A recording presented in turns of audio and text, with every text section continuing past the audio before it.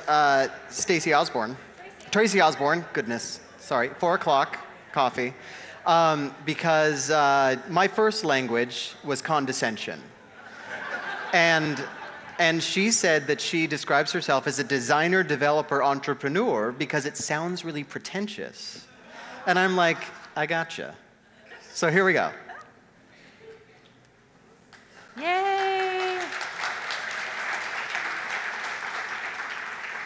So I was a little backwards. I call myself entrepreneur because that's cooler. Uh-huh. Yeah, nerd. All right, hi everyone, I'm Tracy. I have this up here because inevitably every single conference I go to, I'm like, hey, follow me on Twitter. And everyone thinks I'm Lime Darling. And I have that Twitter account, and there's 25 followers on it, and it says everywhere, Lime Daring, Lime Daring, Lime Daring. So FYI, I'm just telling people immediately in the beginning, Lime Daring, not Darling. Follow me, I'm hilarious. Everyone's like, right? I just started working at a company called DreamFactory. We're an open source API platform, which is awesome because my first task is actually to update all of their documentation. So I was like, and I started, uh, I got invited to speak here before I started working this company. And I'm like, sweet, twofer, I'm gonna learn my, about documentation, um, talk, my, talk about documentation up here, and then applies directly to this company as just hired me. Thank you, DreamFactory. But this talk was really about my work with the books I wrote. Um, I wrote a couple books on basically an intro to web app development using Python and Django. And I wrote these books because of pretty much my background, where I originally went to Cal Poly San Luis Obispo and, woo, learn by doing. I went to Cal Poly, and I have a art degree with a uh, concentration in graphic design. And the thing I don't usually tell people is that I actually went to Cal Poly for computer science. So, like day one, hour one, going into Cal Poly, I, I, in high school, I did web pages, I did websites, I was framed websites, and I'm like, I'm a programmer. So I applied for computer science, and I got accepted, went to Cal Poly, sat down in my first CSE 101 class, and had this spent like the hour of doom going, holy crap, what, why am I here? This is not what I'm supposed to be. Like, it was a very awful introduction to computer science.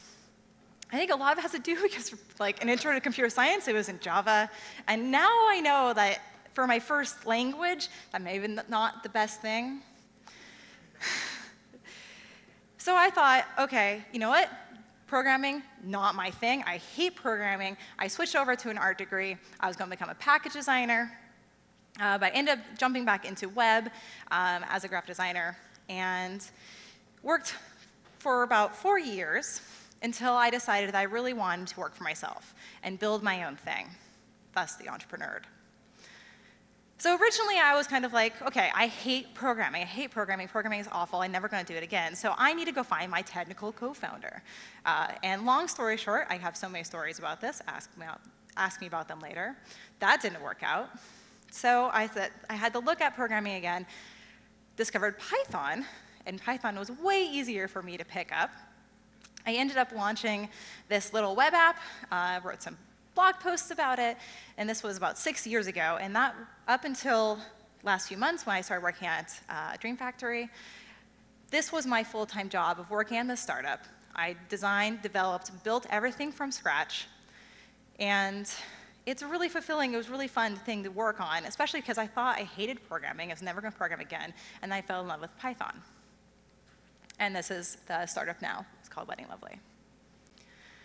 So the books are here really because as I was teaching myself how to program Python, and I have, again, this like fear of programming and this fear of like, of like how much I hated that experience in academic programming. As I taught myself Python, I kind of thought to myself, why the hell was it taught this way when I think it should be taught this way?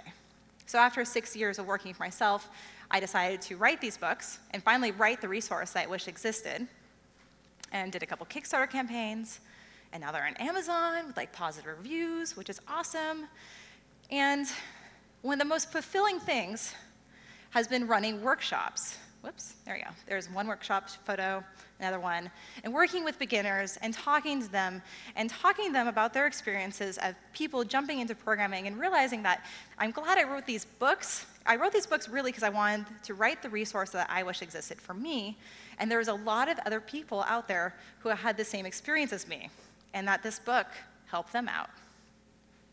And look, someone's my, reading my book. It's amazing. This is the best feeling in the world. The thing is, I'm like, I, I now speak at conferences, I speak at programming conferences, I've written two programming books, I give workshops at programming conference, I'm giving a workshop next Saturday at PyCon, I've given community workshops. I still feel like a complete noob when it comes to programming. I've been running this, uh, this website, and I was running, I built the entire thing, like 11 different properties. You know, I mean, it's all using Django and everything like that, but I am this weird spot where I am like a good programmer in a lot of different ways, but still a beginner in many, many others.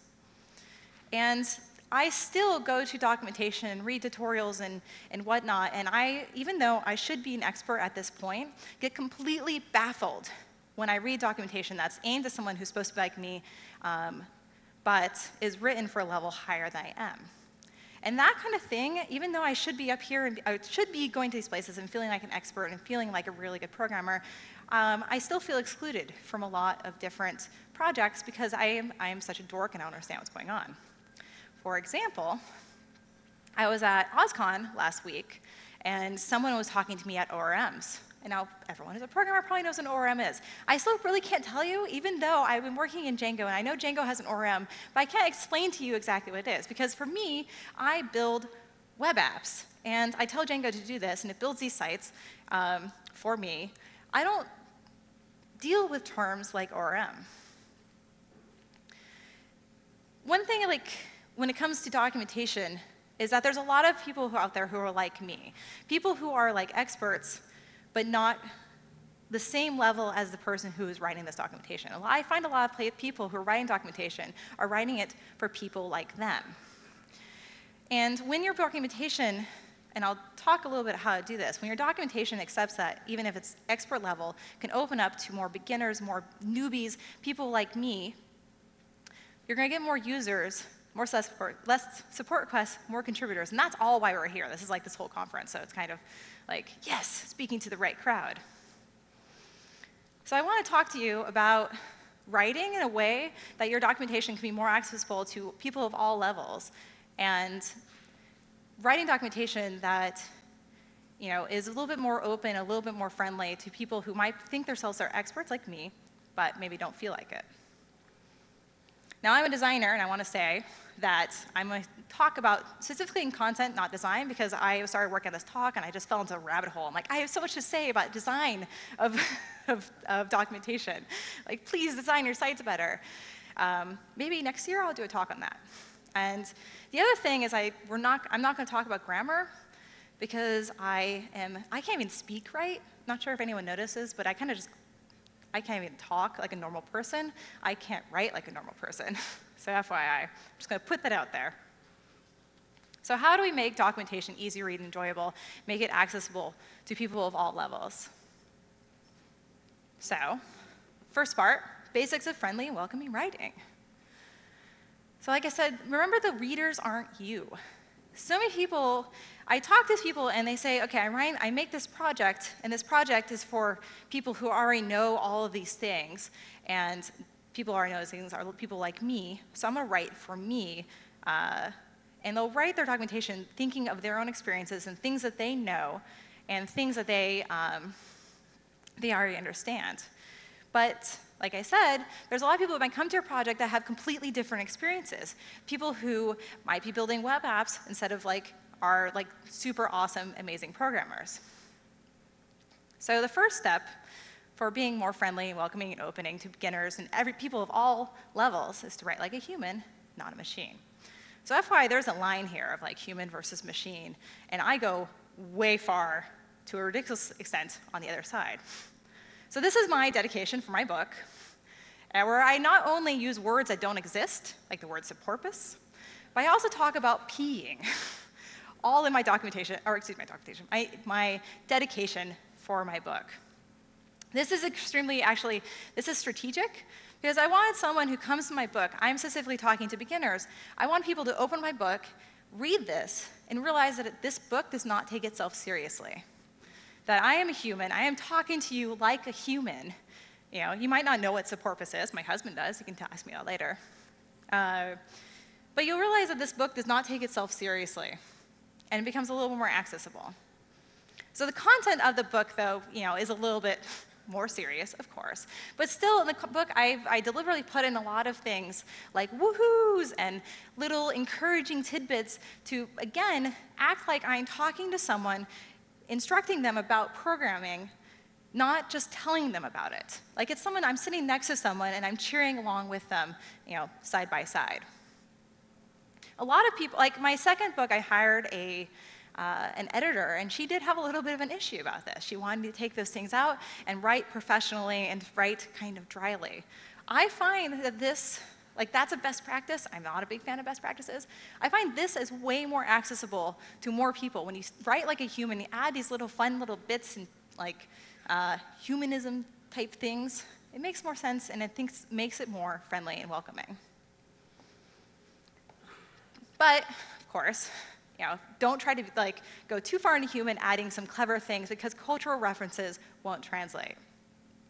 I love requests. Um, Kenneth Reitz is a friend of mine. However, the very first line of the documentation here says, request is the only non-GMO HTTP library for Python safe for human consumption.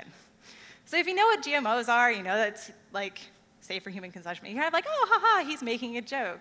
But what if someone took this seriously and was kind of like, are there HTTP libraries are not safe for human consumption? Like, just as the first line of documentation, that cleverness is kind of hard to translate. It can create more confusion than the joy it brings. So one of the easiest way to start talking to someone like a human is to try a personas.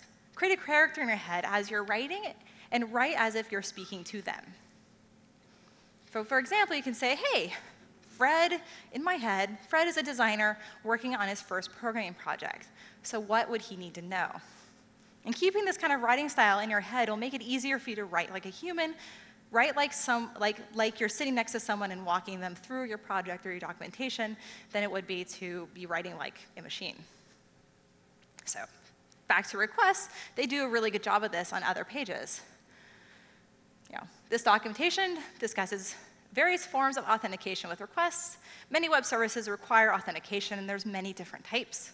Below, we outline various forms of authentication available in requests from simple to complex. This is simple, this is easy to understand, feels more human. It's still extremely professional. Now, caveat on this example, this is actually the project that my husband wrote. Uh, so this is all of his documentation. I found this completely by accident, so I'm just going to give him a shout out while I'm here. Because he has up here, um, this is on the PyPI, so not even a place where people usually put a lot of documentation. This is where you install the project. Uh, but it says, hey, go to urllib3.readthedocs.org for nice syntax highlighted examples. But long, long story short, here is an example. Now, long story short it's kind of a little, you know, clever, uh, might not translate. But really, this is writing like a human. This is writing like you're talking to someone and walking them through this. So remember that terms that are obvious to you might not be obvious to others. And this is something I run into all the freaking time, like I said, with ORMs, which I really should understand, but I don't, even though I've been running this Django website for the last six years. So in the other world of recipes, if you're not a cook, there are so many words that are used in people who are writing recipes that make no sense if you're not a cook. Uh, and, you know, enough that BuzzFeed even writes a whole article on it. So there's terms in cooking like cream the butter. And if, again, if you don't know this term, you might be thinking, cream the butter? Isn't butter already cream? It's just more solid? Do I take it back to a liquid state? Like, what the hell does cream the butter mean? Truss the bird, fold the egg whites, shock or render the fat. And then my most favorite one is shock the vegetables. It's like, ha! Wake up, vegetables. So if you're new to recipes, you might be looking at these terms being like, what the hell? You know, and recipes are really bad about this. And there's no way that you're going to be reading a recipe and someone's going to try to explain what these terms are. Well, I guess some of them do. But most of them are just kind of like, hey, if you don't know what this term is, you can go look it up by yourself. But I'm a recipe and I'm not accessible to most people. Uh, but we don't have to be like that in documentation. So if there's anything that, any term that you're referencing that you don't want to explain in your documentation because yes, that adds more work, link to things you don't want to explain. So for example, I'm learning my job, my new job, they're on PHP, so I'm trying to learn um, Laravel and PHP and all that kind of stuff, which is kind of a step back from my Python work, but you know, I'm getting there. And going on the docs for Laravel, says Laravel utilizes Composer. Now, when there is a link there, that's telling me the document, the, doc, the person who wrote this documentation says, hey, you might not know what this is. And I'll link out to this extra resource so you can go, you know, tab it open, it, open it in another tab and read about um, what Composer is. They're expecting that, hey, you might not know what this means. If Composer wasn't linked, it is telling me that the person writing the documentation expected me to know what that term is. And that's kind of a, a negative signal when I'm reading documentation. If I don't know what that term is, it's telling me that this documentation, that this project is not for me. Whereas, if it was linked, I can go learn about that and still use a project um, by just educating myself a little bit more. So, famous blog post, I, I started working on this, this talk, and then I found this blog post everywhere. So if you haven't read it, I'll tweet it out later, but if you haven't read it, it's really important writing documentation um, is to teach, don't tell. And this is the power of having tutorials and documentation. Because you might be saying, hey, this person coming to my project, they really should go read the source or go read the wiki. Um, but if you can walk someone through your project and kind of handhold them into your project, then they can go and read your source. Because reading the source only really works for someone who's already familiar with your project. And your documentation is supposed to get, get, to, get them to that point. Django REST Framework, the Django ecosystem, does a really good job in this. There are so many different types of tutorials that are on the project site. And this is really great because, I mean, it walks you through not just like working with Django REST Framework, but it also walks you through the whole point of like the whole part of um, starting to work with that project. It's handholdy, it's really great. Like I kind of wish that you know, explains what virtual env is, just in case someone gets to there and for some reason hasn't used that project. Um, but otherwise, I do a really good job of having tutorials and walking people through and introducing them to the project.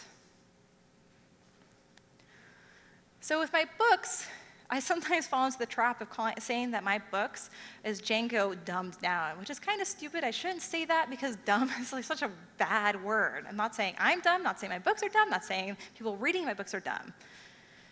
But it's really, really great when you can simplify the content you have um, when you can take your, your pages, make them more simple, make them easier to understand. So like, dumb them down, but they're not dumb. For example, the fabric documentation, right at the top has a really good explanation about what fabric is and kind of walks them walks the reader through this project, what it's good for, what it could be used for. Now we'll go back. There you go. And then at the bottom, it has really easy examples to get someone started working at the project.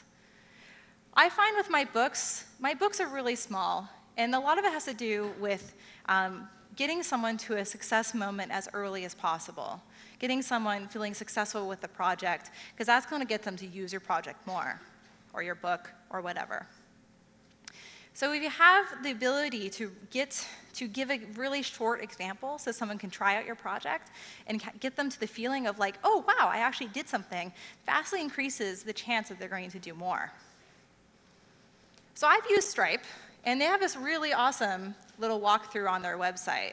Uh, it started filling out immediately, and so you see the animation, and then it says, hey, copy paste this little bit in to your command line. And then it comes back with JSON, and then the website automatically updates itself and it says, hey, paste this in. Paste it in. You're not writing any code. But you're seeing the power of Stripe right there. This is like total magic. It's a really cool thing that Stripe is doing. And at the end, after you pasted all those, those bits in and got the JSON responses, it gives you links to move forward. Stripe helps people to get to a success moment, to feel a bit of success with their projects, um, and get started working with them like early on, and then gets them feeling good, and then tells them where to go next. And it's really, really smart, even for a complex product. Another way to be welcoming and open to people is to obviously, I hope, to use general neutral language. As a chick, I do notice when documentation says he, him, etc., so forth, and immediately makes me feel like I am not the, not the reader this person intended. It's also good because you can avoid a lot of controversy. I thought about animating this so you can see like the 20 or so pages that this controversy went down. But it's very important. Because uh, again, someone might be tempted to write for someone just like them, and they are happen to be male and they write for other males, but that's very exclusionary to females or other genders. So there is a lot of good writing on this topic. This website is fantastic, uh, mainly because it has what I love in um, any kind of examples where it has lots of bad examples, good examples, makes it really easy. If someone's saying, I don't know how to rewrite this sentence to take out gendered pronouns, this website is amazing. And I'll tweet it out later as well. So, second part, talking about content and basics of writing clearly. When you're writing, I have, a, I have a design talk I usually give at different conferences. And a lot of times, uh, excuse me, a lot, design talk I usually give, and I talk about clutter. And paragraphs are a sign of clutter. Long, big paragraphs with lots and lots of sentences are really scary to a reader, and we're in the world of skimmers. So a, if you can, try, whenever you see a big paragraph of content, try to cut that down to like two or three sentences. Um, actually, that's supposed to be per paragraph.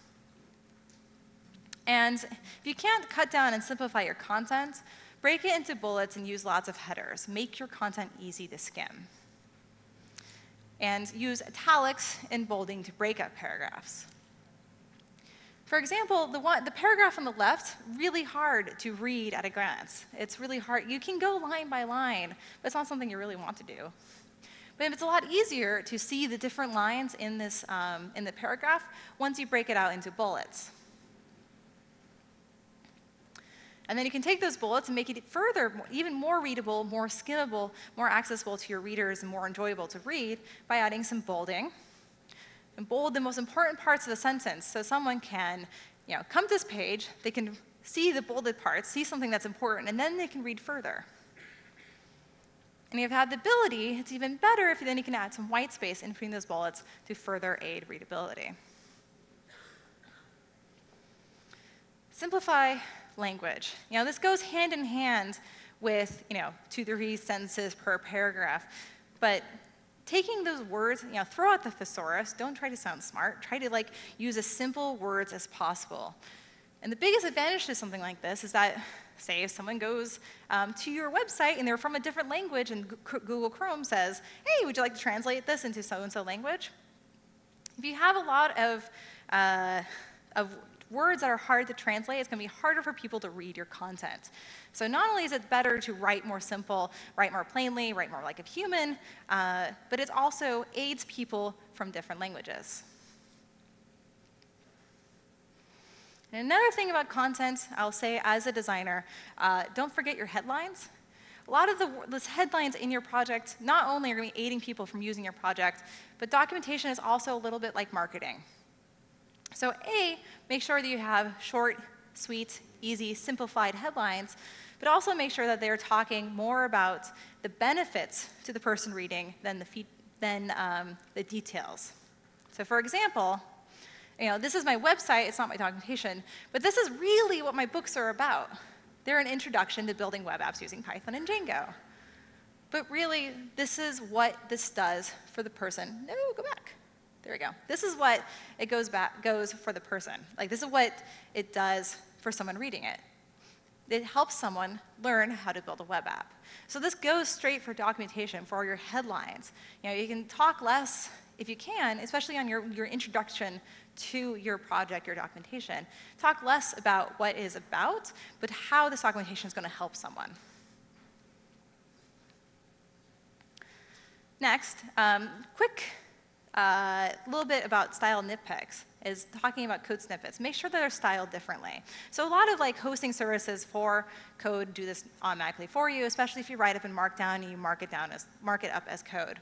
And I'm gonna call myself out because in my book I have the code snippets all in blue, and I did that designery decision because I was like, oh, this looks a little like rather than tons of colors that you're flipping through, everything is this lovely blue with bolding for um, inserts. But I mean, the um, code snippets within the content, that permanent is a monospaced font, uh, and everything's a monospaced font. So at least it looks different than the rest of the content. And having code different from the rest of your content will vastly aid someone trying to go through and skim and find the content they need. Ideally, you'd be doing something like this, where you have code highlighting. Code highlighting is so important, and it makes it so much easier to read. So that is something I'll probably go do in like version three of my books. I have to go through and redo all my code segments. Uh, I miss doing that, but take advantage of code highlighting as much as possible, because that really makes it easier for someone, um, especially as a new programmer, to read your content. And if you can, I don't see this a lot. But if you can, try to add file names to your code blocks if they make sense. Because files obviously can change names, um, it might be kind of hard to do this. So again, going back to Django, you have like a file for your views, you have a file for models, and generally, um, by default, they're views.py and models.py. And so I take advantage of that um, in my book, or you know, base.html for templates. But you know, your views file could change to be like content views.py or uh, admin views.py, so you might be tempted to leave off those file names. But some, for someone who is new to programming that's just looking through your content and your um, documentation, having those file names is kind of a reassurance to let them know approximately where this content's going to go. And Django does this otherwise, like urls.py, euros of pi. So if you can, you know, add like letting people know that's going to be like a base HTML template, or it's going to be their uh, contact form template, or their views template. I find this helps out people so much when they're beginner programmers, just reassuring them that this is where this code snippet is supposed to go. Then, last but not least, document with pictures as much as possible. Shopify does a really good job of this. Shopify um, has their click to create a store and you could just say, hey, click to create a store, and then just move on with the rest of the documentation. But they have a photo, or excuse me, a screenshot of their website where it says, hey, here's the button, create a new store. I'm a visual person, and so seeing this, this screenshot actually just kind of, it better adheres my brain where this button is. So then when I go onto the website, I'm like, boom, there it is. Shopify goes a little bit further, um, and they have animated GIFs, which I thought was really cool too because it says, hey, click on settings, then click on here. And then have a little GIF showing you, click on settings, clicking on here. This is super cool. I wish more people did that. So in conclusion, so I talked a lot of little nitpicky things about content and updating uh, documentation to be more accessible. The main thing I want to emphasize is that even though you might have an expert level project, you might be aiming at other expert levels of other people who you might think are expert levels. People have different uh, levels of expertise in so many different areas. It's not just like one expert level has the same background as everyone else. For me, I've been running a website for so long. I've written books, I'm talking at conferences, these Python conferences, and yet I'm still asking silly questions like what's an ORM? By being by taking your projects and making sure that even your um, intermediate expert level projects are more accessible to beginners, by just giving them some hand holding, letting people know um, that they're welcome, making sure that they have links to things they might not know, really helps the ecosystem, makes things a lot more welcoming and opening to people. Um, because so many people are jumping into this tech world from so many different areas and exper um, experiences. Not everyone has a computer science degree. I certainly don't, and I probably could never go back and get one. Maybe someday. I was going through this whole job search thing, and people were like, hey, you should go like apply for Google. And I'm like, I'm pretty sure Google does not want me. so, thank you so much for having me.